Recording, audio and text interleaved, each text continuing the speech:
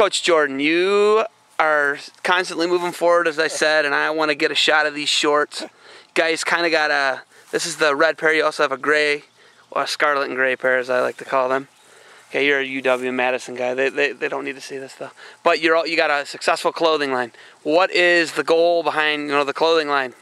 I just try to keep what's whatever's hot out there. Uh, Coach Lang, I kind of put him in charge of the clothes, and he's still in his 20s, so he likes the, the, the good stuff, you know. And and I do like nice workout. I mean, we, we a lot of my guys used to always wear the spandex. They, they like to work out with them, and and right now uh, MMA is big, and, and board shorts are big, and and uh, really good thing. Coach Coach Lang and Tommy Rowlands. Tommy Rowlands is working with at, at Cage Fighter with the DeSabatos, and and uh, Coach Lang and, and, Tommy and I and the DeSabatos set something up where, where they're making some nice shorts. And I, I got to get a 360 view of these, man. They're, I mean, I'm I'm really impressed. They got the JT on the back as well, and you got the Cage Fighter logo on the back. But like you're saying, the MMA is hot right now. But uh, and they're just good, comfortable. You know, I like to wear shorts that are comfortable to work out in, and they're comfortable. They, they look good, and, and uh, right now they're like the a lot of people are, are liking them, and I just appreciate the, the DeSabatos and, and Cage Fighter and, and Tommy Rowlands uh, setting everything up to where we could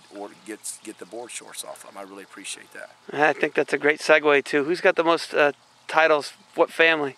I think the George might have surpassed the DeSabatos, but I'm going to say that here. Maybe I'm wrong. Maybe they've won a couple more than, than we have, but it's uh, it's close, and that's the great thing about wrestling. You meet some you meet some great people.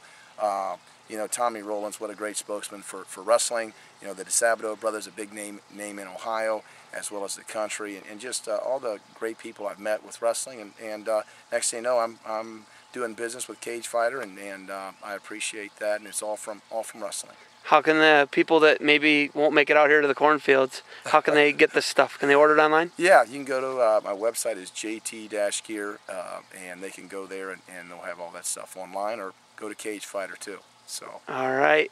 Jeff, thanks for the time, and then uh, I'm going to come watch you do the session. Hey, thanks, Deb.